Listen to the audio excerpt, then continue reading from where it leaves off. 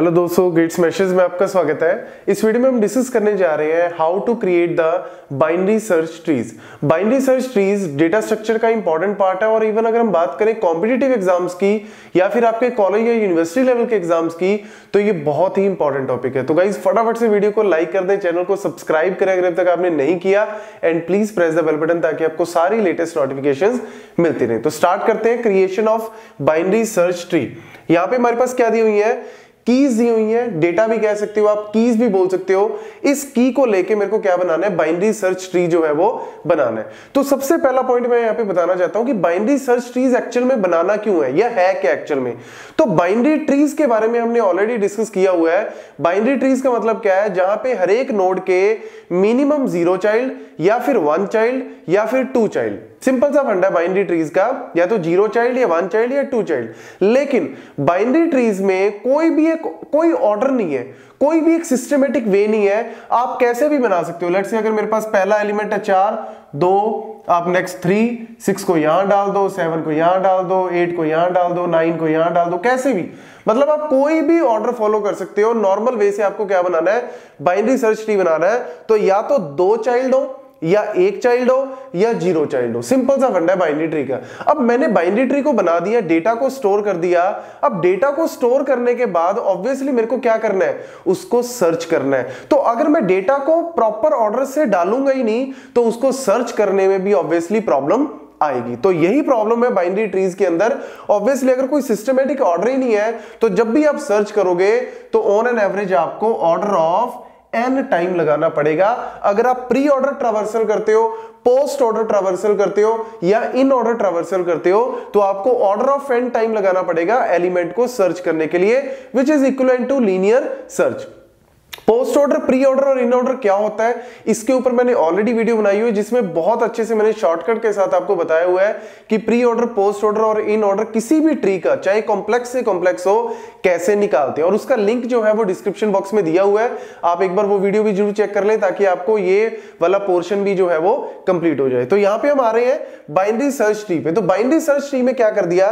Binary tree तो वही है मतलब प्रॉपर्टी तो वही है, या तो ज़ीरो चाइल्ड वन चाइल्ड या टू चाइल्ड लेकिन बीच में क्या लगा दिया? सर्च सर्च का मतलब क्या है कि अगर मैं ऑर्डर्स के साथ, अगर मैं कोई एक सिस्टमेटिक वे से डेटा डालूँगा तो सर्च करना भी आसान होगा। तो वही हम यहाँ पे डिस्कस करने जा रहे हैं कि बाइनरी सर्च ट्री एक्चुअल में किस ऑर्डर में, किस सिस्टमेटिक वे में डालती है। तो लेट से अगर ये मेरा रूट एलिमेंट है ये मेरा लेफ़्ट सब ट्री या लेफ़्ट एलिमेंट है और ये मेरा राइट right एलिमेंट है। तो बाइनरी सर्च ट्री क्या कहती है कि लेफ़्ट वाला जो एलिमेंट है, वो क्या होना चाहिए? Less than the root element जो भी लेफ़्ट में आप डालोगे, वो रूट से छोटा होना चाहिए। और जो भी राइट right में आप डालोगे, वो रूट से बड़ा होना चाहिए। बस ये कॉन्सेप्ट है सिंपल बाइनरी सर्च ट्री का। तो इसमें कंफ्यूज मत होना कि हीप ट्री और मिन हीप या मैक्स भी ये होते हैं। नहीं मिन हीप और मैक्स में क्या होता है? लेट से अगर मेरे को मैक्स बनाना है टेन एट सेवन ये क्या है? ये भी एक मैक्स हीप है। मैक्स हीप का मतलब क्या है? कि रूट एलिमेंट पे सबसे बड़ा एलिमेंट होना चाहिए। लेकिन लेफ़्ट और राइट का कोई फंडा नहीं है। तो वही यहाँ पे मैं बात कर रहा हूँ।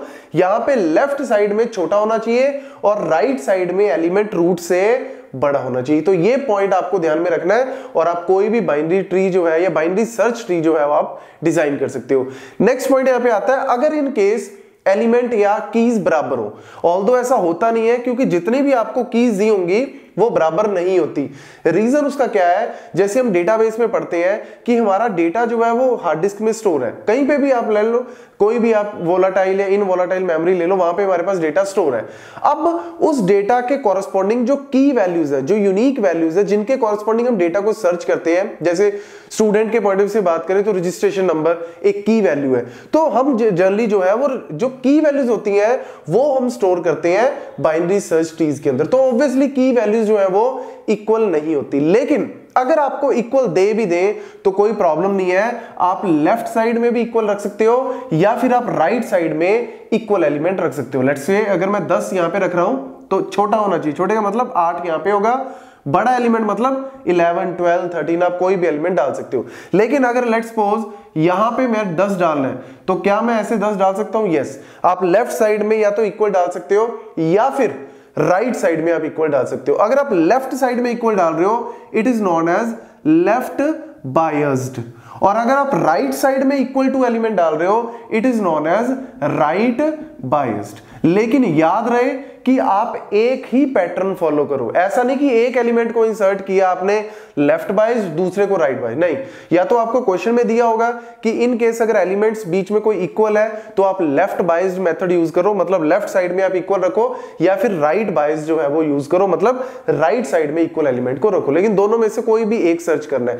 लेकिन आपको मैं बता देता हूँ कि 90 या 95 परसेंट पोर्शन में आपको ये यूनिक कीज ही आपको देंगे। तो बस उसमें याद रखना कि रूट से छोटा लेफ़्ट साइड में और रूट से बड़ा एलिमेंट राइट साइड में। तो अब स्टार्ट करते हैं यहाँ पे। सबसे पहला एलिमेंट है मेरे पास, ये सबसे पहली की कौन सी है? फोर तो फोर मेरा यहाँ पे मैंने सिंपल ड्रॉ कर दिया।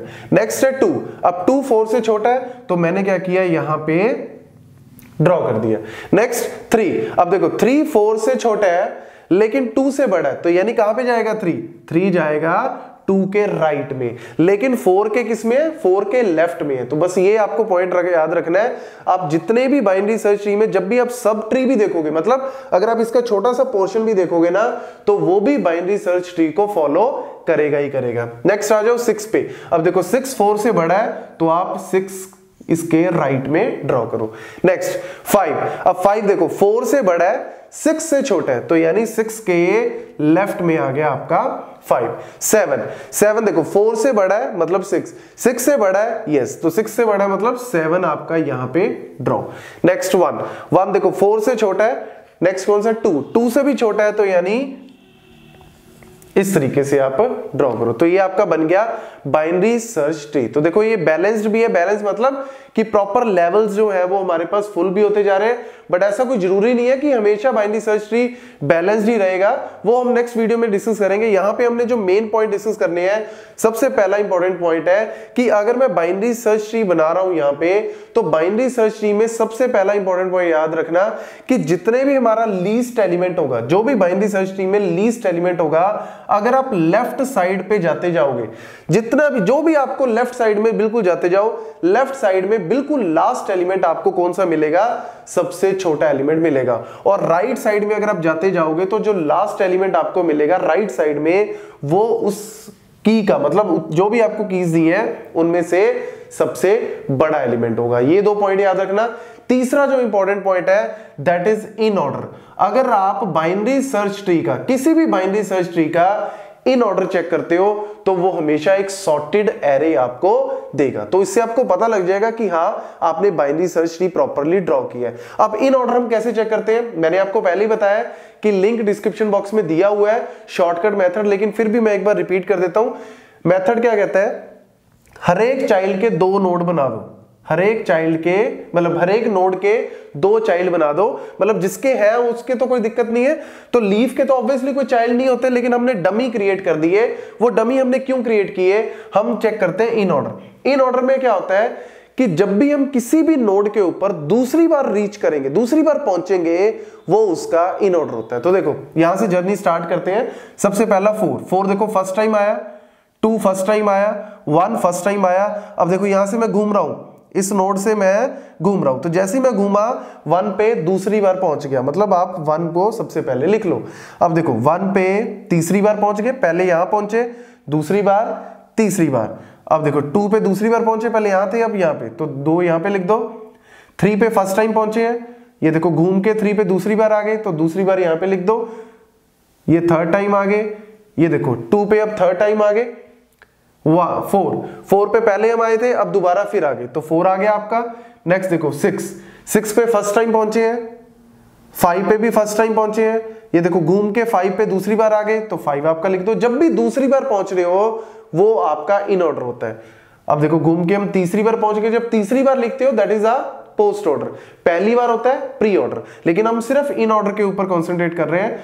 नेक्स्ट सिक्स सिक्स पे पहले यहाँ पहुँचे थे, अब दोबारा घूम के यहाँ पे पहुँच गए। सेकेंड टाइम सेवन पे फ़र्स्ट टाइम सेवन पे सेकेंड टाइम और सेवन पे थर्ड टाइम तो ये मेरा जो है वो ट्रावर्सल पूरा हो गया। तो देखो यहाँ पे इन ऑर्डर आपका क्या है?